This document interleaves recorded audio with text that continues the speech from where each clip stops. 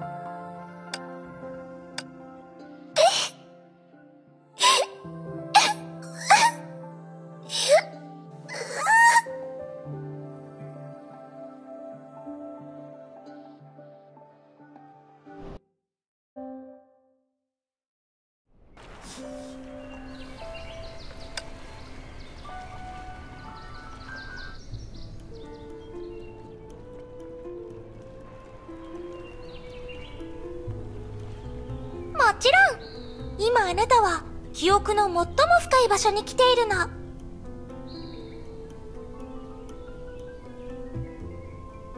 妖精エリは簡単に消えたりしないわ。愛しい人の子を最後の道まで案内するのは私だからね。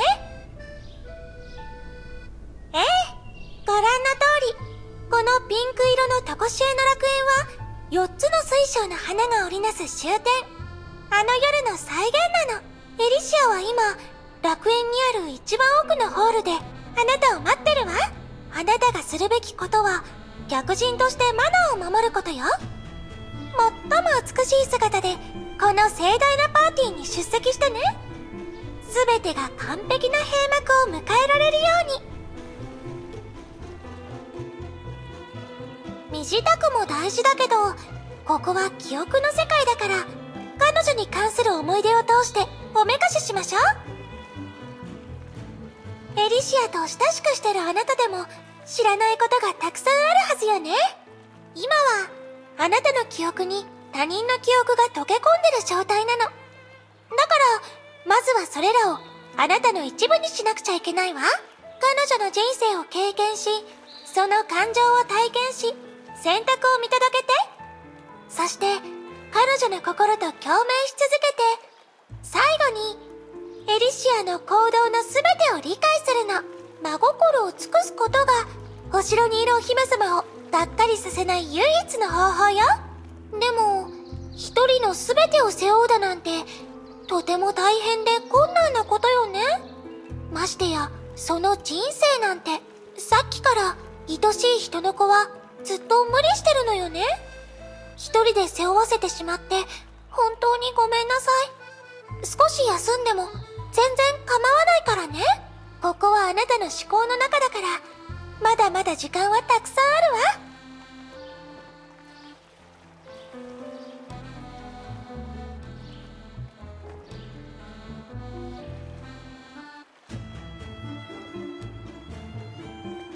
あー？なんてロマンチックなセリフ？愛しい人の子ならそう言ってくれると思ってたわ。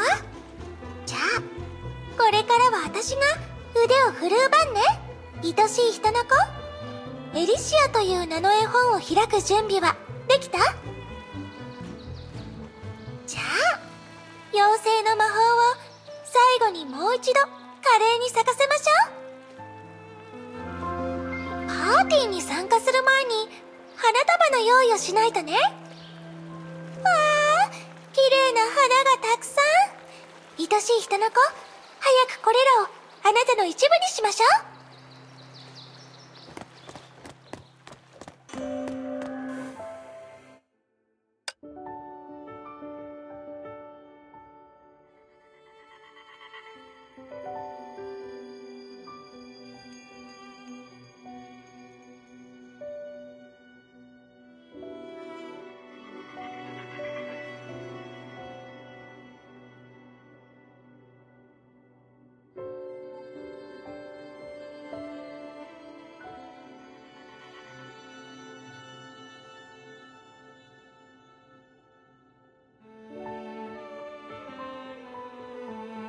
まだ思いついてないの？名前がないとすごく不便だよ。うん。でも、これらの名前は全然可愛くないんだもん。アタラキアと、レイヤはいい名前だと思うけどなやだやだ。名前はすごく大事だもの。一番お気に入りの名前にしなきゃ。あ、マリアンたら、またクッキーを食べてる。背が伸びなくなるわよ。見間違いだよ。クッキーなんて食べてない。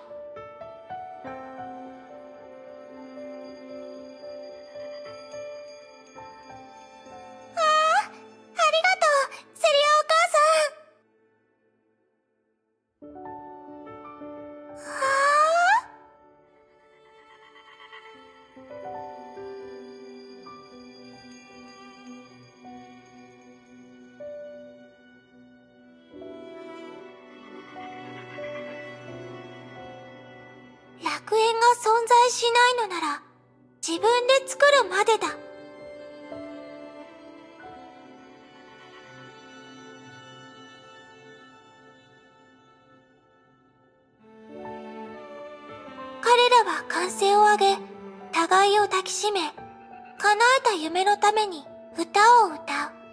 彼らはようやく楽園にたどり着いた。それはここに、旅のゴールにあったのだ。人々は小躍りして看護し、その名前を叫ぶ。は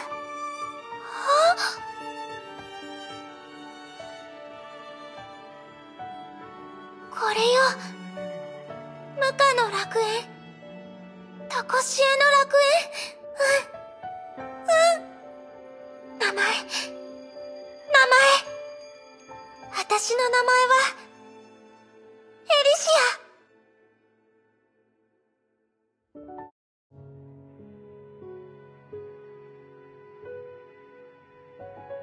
そんなの普通よ。どんなに綺麗な花でも種から育つんだもの。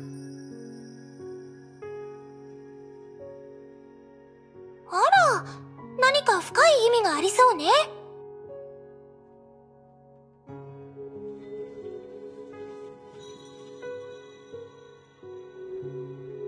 あら、じゃあ、この近くで探してみましょう。もしかしたら、事件に関する記憶が残ってるかもしれないわね。愛しい人の子？どうしたの？でしょでしょ？私もいい名前だと思うわ。妖精エリの次にね。えそ、そうだったの？まずいわ。名前が完璧すぎて、全然考えたことがなかった。こっちこっちもう一輪の花が咲いてるの。あなたの探してる花かし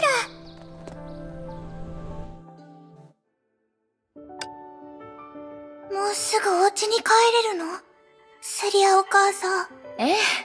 あの人たちは何かを勘違いしてたみたいなの。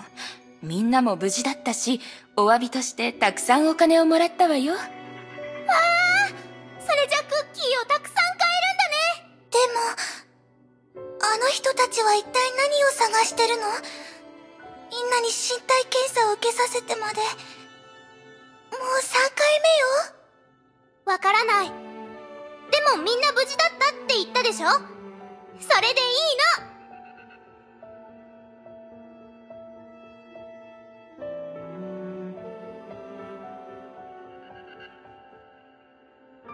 のどうしたの？エリシア。私、セリアお母さんに話したいことがあるの。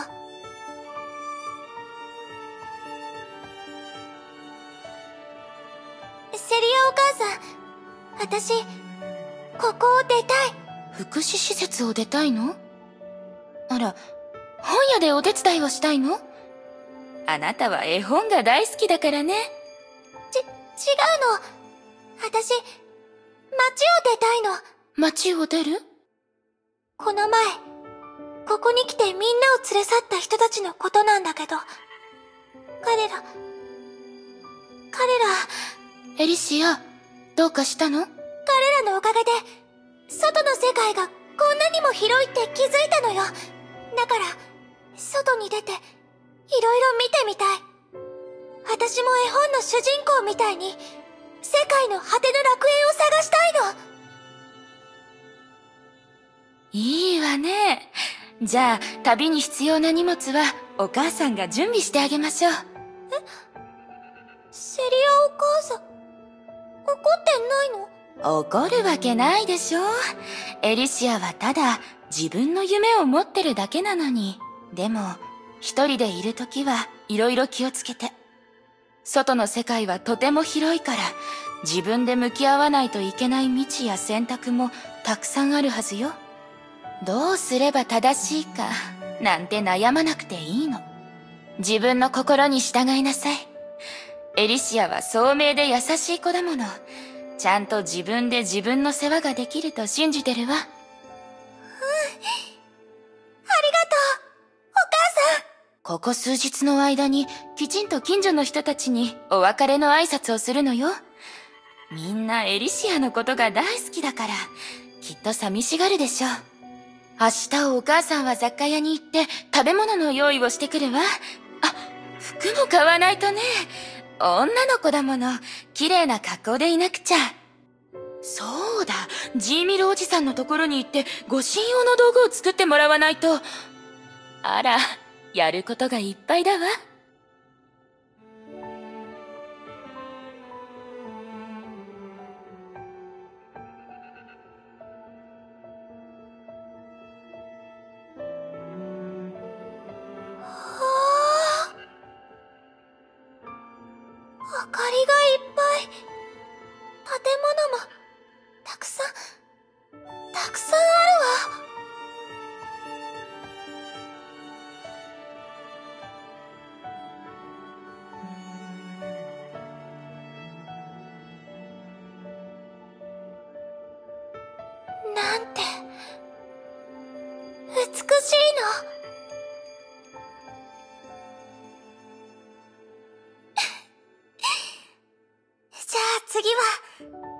私の楽園を探さないと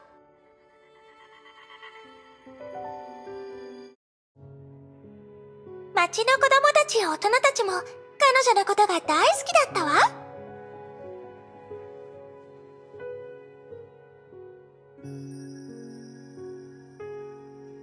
もしかしたら、それがエリシアの特権なのかもしれないわ。広く愛され、決して疑われない、すごい魅力があったとか？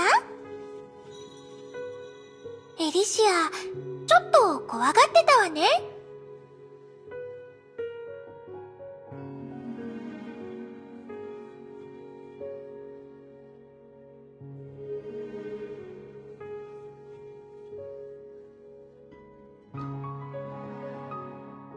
まるではいらないわ。私の人生は、おとぎ話そのものだもの。時は細かいことを気にしないの。どうしたの？私のことをじっと見つめて、私に惚れ直した？なら、前に進みましょう。ゴールまでまだ道は長いわ。焦らないで。愛しい人の子憶の旅はとても長いからその疑問は後々解消されるわ。これからの彼女は世界を旅するから長い長い思い出が見られるはず。ほらここにある花も鮮やかに咲いてるわよ。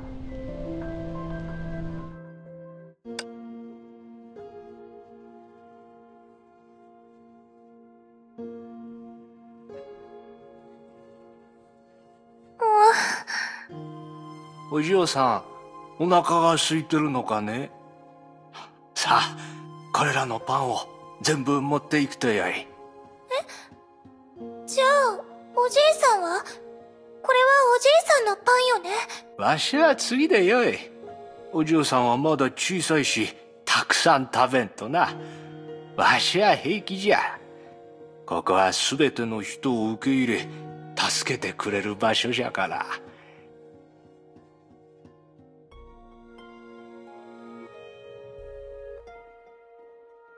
どどうしてずっとついてくるの？だって、リンゴを渡したら、みかんをくれるって言ったのに。そんなの嘘よ。そもそもみかんなんて持ってない。あんたを騙したの、教訓として覚えておいて。ここにいる人はこうしないと生きていけないんだから。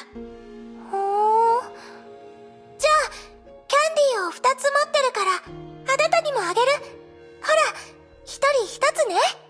あんた。ありがとう。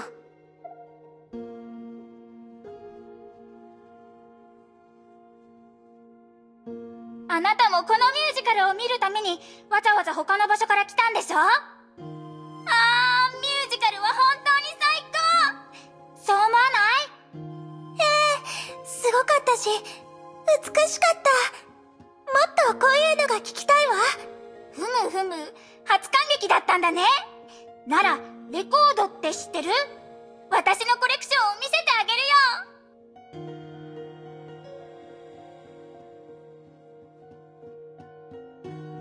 ね大丈夫？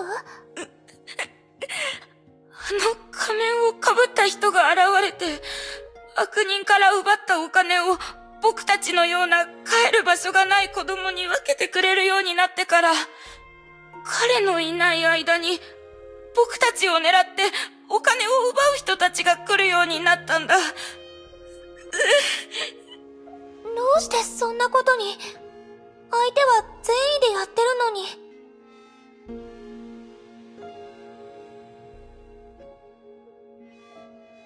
お嬢さん、ここの生徒になりたいのかね？賢そうなお嬢さんだからきっと受かるよ。私もなれるの？もちろん。せっかくの開放日だ。ばあやが学校を案内してあげよう。ここの学生食堂はかなり有名でね。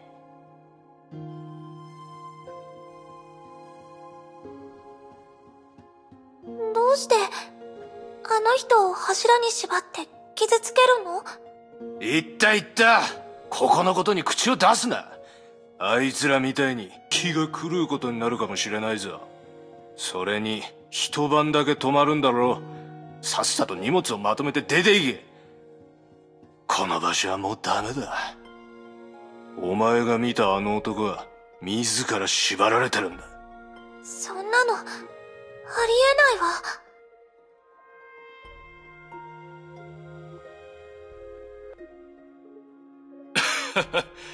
どうした？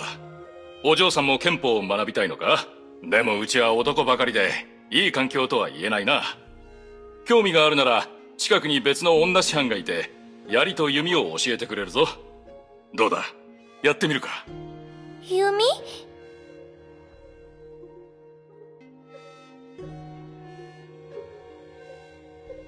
あの魔術師は嘘つきだって聞いたよ。開演前に彼女を捕まえに来た人がたくさんいたんだ。その人たちがバックステージに行った時にはもう、彼女は姿を消してたんだって出口は一つだけなのにねおや、すごそうな人だ。彼女は一体何者なの？むしろ私はそのこと自体がマジックショーの一部だって思って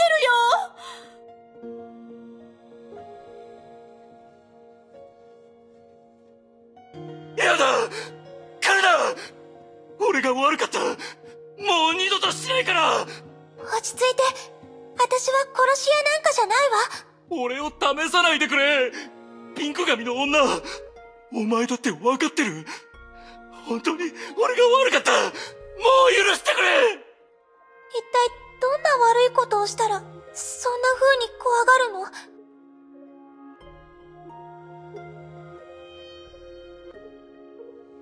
本当に彼女の助手になるのか？実験室に入った人はみんな消えたって言うし、生徒たちはみんな手術台送りになったんじゃないかって噂だが。あそこの報酬はかなりいいからね。それに、あんなすごい博士と一緒に勉強したら、きっと私も何かを得られるはず。もっと頑張らないと。あなた。そして、私たちの子供のために。はあなんてロマンチックな約束。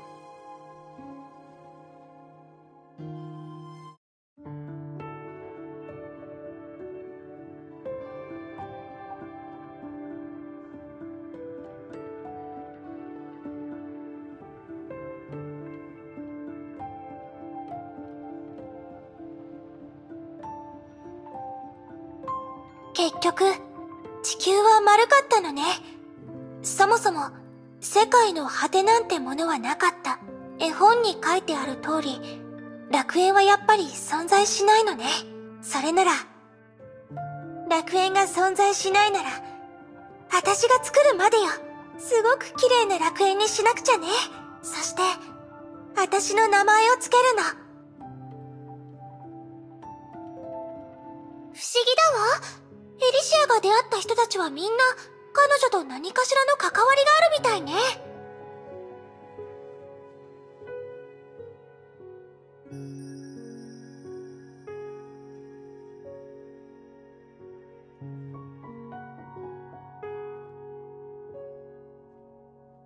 最後に彼女はまた全ての始まりに戻ったわね。世界を周遊するだなんて一人の律者として考えると彼女はとても大胆だわ。でも、彼女は本当に自分の正体を知らないの？フェアリーランドから来たこの妖精エリでさえびっくりよ。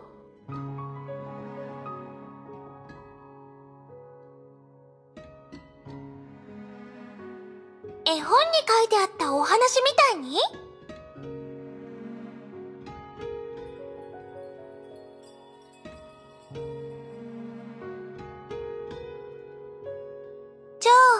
最後まで見つからなかったってことよね。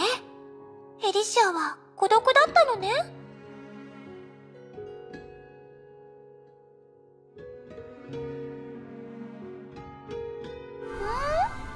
この花、嫌な気配がするわね。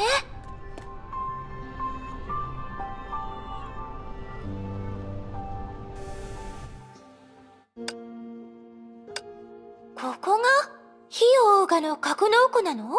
なんだ。想像したのと違うのか？なんだと思ってた？エンジン上に並んだ巨大な石板とか。高さが数回分もある人型兵器とかが置いてあるのかと思ってたわ。うーん、ちょっとがっかりしたわね。漫画の読みすぎだろう。いくら秘密組織といっても人間が作ったものだ。火を追う側の本質は今まで歴史上にあった軍産複合体と大して違わない。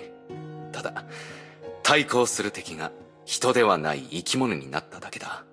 あの時オストク51を調査しに来た組織を覚えてるか。あれが火を追う側の前身だ。しかし驚いたな。まさか数年後にあの時に出会った娘と再会するとは。成長が早すぎて一瞬わからなかったぞ。女の子の成長は早いからね。もしかして私が審査をクリアしたのってあなたが裏で不正をしたとかじゃないでしょうね。まさか。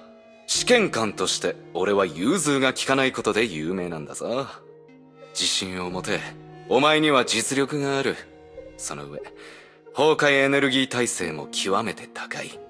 まさに火を追うがにとって必要な人材だ。本当は、お前のような若い娘を戦場に送りたくなかったんだが、俺には娘がいてな。彼女をこの全てから遠ざけることが、俺の最大の願いなんだ。いいの。私が決めたことだから。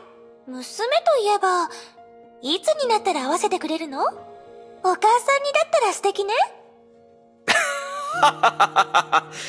その言葉に含みがある気がするのはなぜだろうな。グレーシュは今、母親の執務室にいるんだ。だが、近づかない方がいいぞ。何せ。何せ、何？メビウス博士は多忙で有名だからな。邪魔はしたくないんだ。あなたの世間話に付き合ってる暇はないわ。コン、第二律者の遺体を引き取りに来たの。ついでに、あなたを探してるブランカから伝言を預かってるわ。グレーシュが馬に乗りたがってるとか、なんとか。ところで、ここにいるのは誰なの？新入り？月に行く方？いや、地上に残る方だ。じゃ、俺はお姫様のところに行くから、メビウス博士、新入りの案内をよろしく。ちょっと、待ちなさいよねえあの男、本当に嫌な奴ね。厄介事を他人に押し付けて、さらに誰よりも早く逃げるなんて。まあいいわ。あなた、名前は？はじめまして。私はエリシア。少し前にヒヨオガに加わったんだけど、会えて嬉しいわ。よく聞きなさい、新入り。忠告してあげる。私には関わらないで。あなたに興味はないから。それに、私と一緒にいるのを誰かに見られたら、あなたにとってプラスにならないわ。わかった？うーん。わからないって言ったら？何ですってだって、そんなのもったいないもの。まだあなたのことをよく知らないのに、早く関わらないと、あなたをよく知ることができる機会を完全に失っちゃうでしょ？変なやつ。こっちよ、来なさい。え？何をぼーっとしてるの？案内してあげるって言ってるでしょ？早くついてきて。私は待たないわよ。あ、ええあなたって優しい人なのね。嬉しそうに笑わないでちょうだい。気をつけなさい。最近、組織に変わった奴が入ってきたみたいで、私のバッジも盗まれたの。犯人の目的もわからないし。なるほど。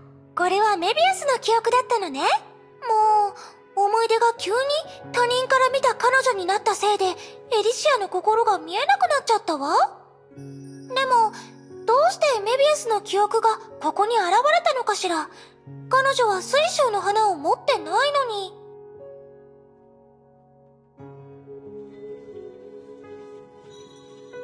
自分の羊を調べるために？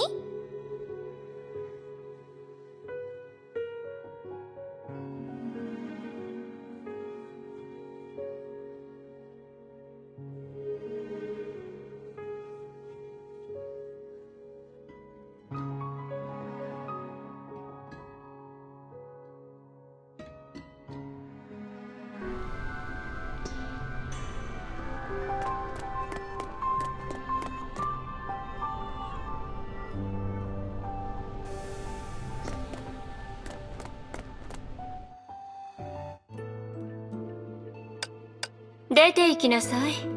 部外者が勝手に入っていい場所じゃないわ。うん？そんなことを言わないで、愛しいメビウス？明日が審査の日でしょ？私は彼女の保証人なのよ。彼女に会ってもいいでしょ？そういえば、名前も教えてもらってないわね。彼女のことは、指名手配犯で十分よ。何せ。彼女は異なる肩書きで、12カ所の地区で同時に指名手配された人間なのよ。16だけど。あら、案外得意げに話すのね。その調子がいつまで続くか。見てみようじゃない。脅しちゃダメよ、メビウス。自己報告書を読んだけど、別にひどいことなんてしてないでしょいたずらにしては少し度が過ぎてるけど、一線を越えることは、ここではそんなに珍しいの？それとも、彼女があなたになりすまして、大学図書館に入って書籍を閲覧したことを根に持ってる？そんなの、勉強熱心なだけでしょ？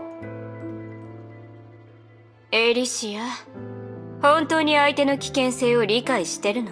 彼女は数年で12の。いいえ、16の肩書きを偽造し、異なる地区に移動して、最後はたった一人で、火を追うがに宣戦布告したのよ。もちろん、そういった才能を持つ人は、組織内では別に珍しくない。けど、火を追うがの機密を漏らしたこと自体が、すでに脅威そのものなのよ。しかも、よりによって彼女は、頭の切れる詐欺師。私たちは、彼女の正体すら把握できてないわ。それでも、あなたは彼女は役に立つと主張するのチャレンジしてみたいのよ。彼女を連れ戻したのは私だから。私にチャンスをちょうだい。後悔するわよやってみないとわからないでしょ？本当の心を確認したいのなら、まずは相手を信じなきゃ。そうでしょ？じゃあ、ビルビー、少しお話ししてみない？メビウス抜きで。私たち二人だけで。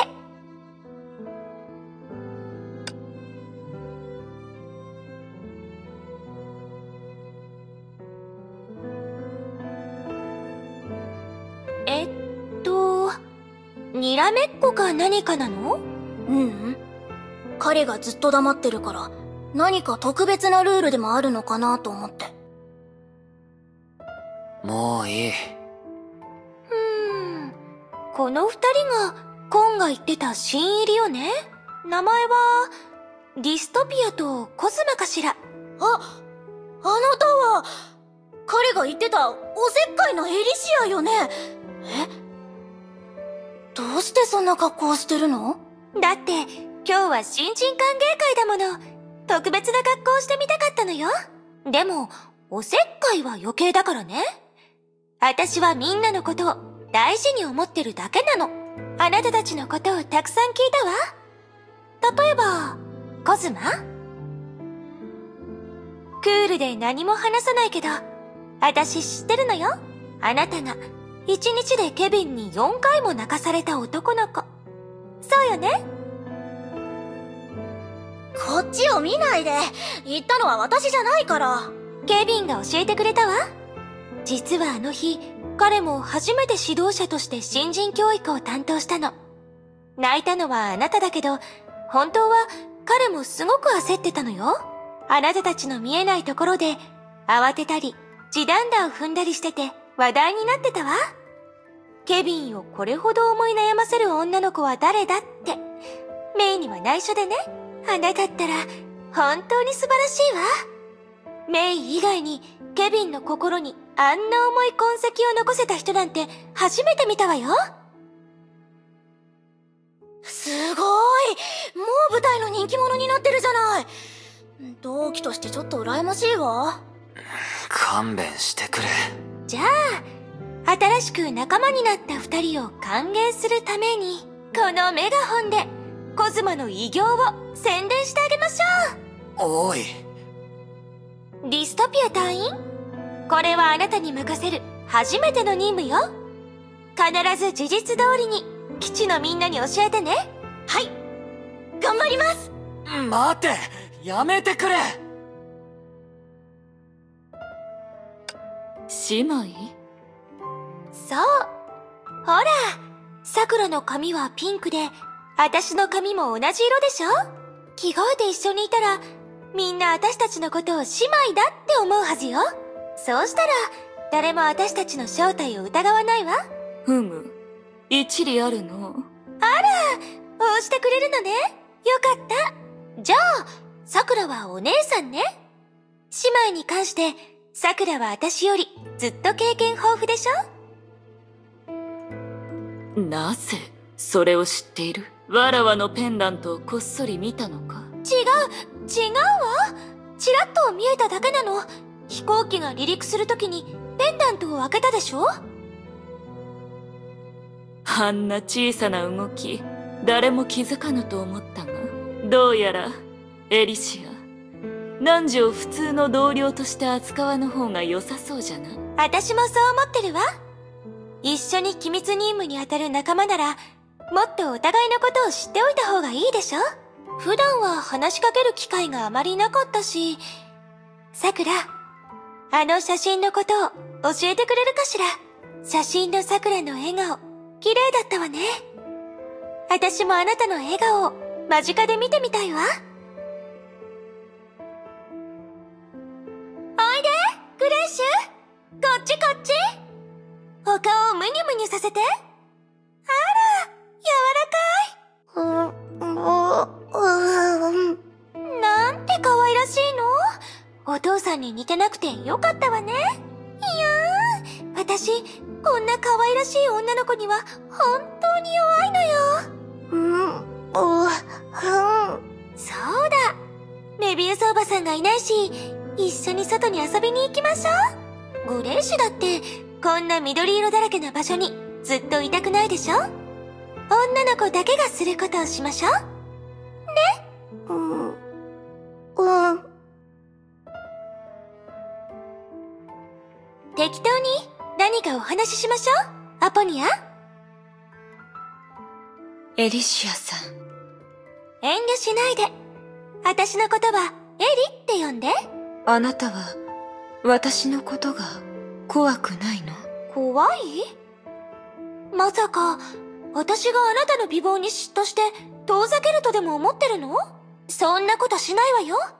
私は綺麗な女の子が大好きだもの。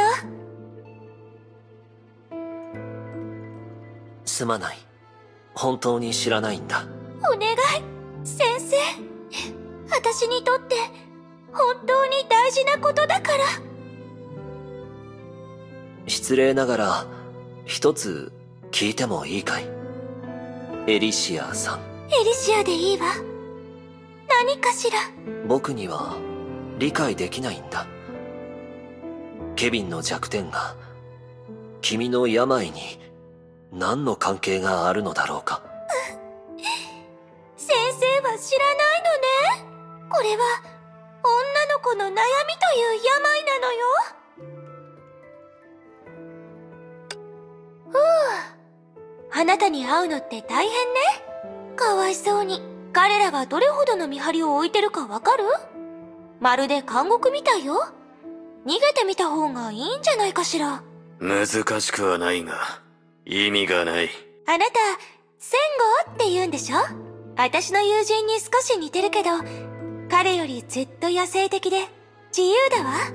ねえ、血が繋がってるとかじゃないのよね。仮面を外して顔を見せてもらってもいい？人の話を繰り返すだけなんてつまらない。そうでしょ？だから今日は真剣な話し合いとかはなし。ただリラックスしておしゃべりしたいの。女の子同士の内緒話をしましょう。それがうちのスタイルだから、早くなれるようにね。まずは、そうだ。服の話から始めましょう。服ですか？忘れたの？来月は火を追うがの伝統の日よ。融合戦士は基地の舞踏会には参加しないの。でもその代わりに、私たちだけで舞踏会を開くのよ。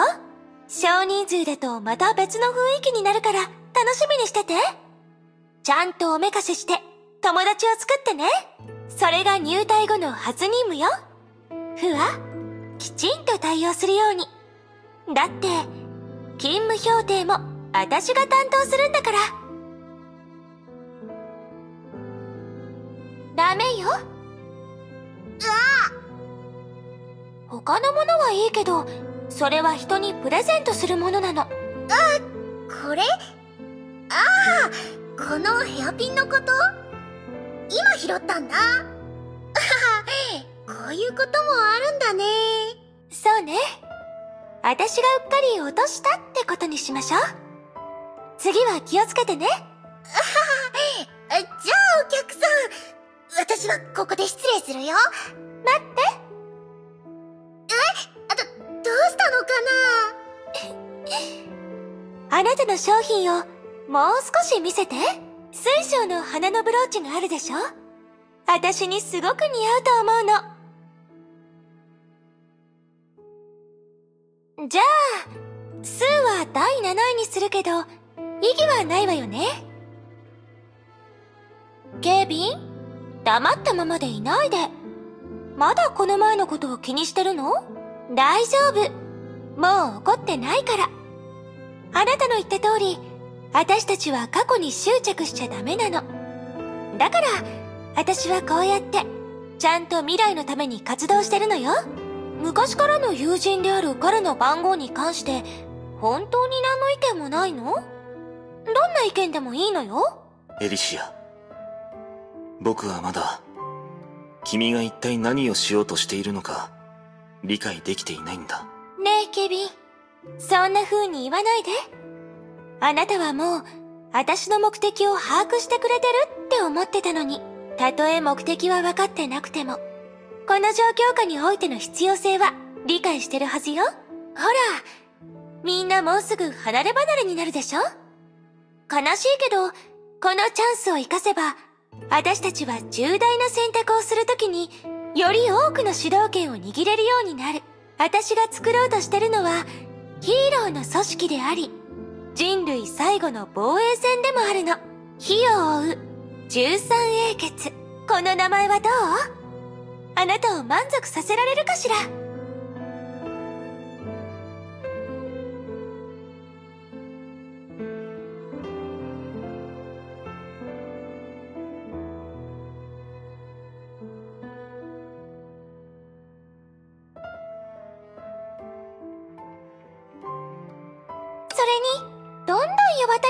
もなっていたわ。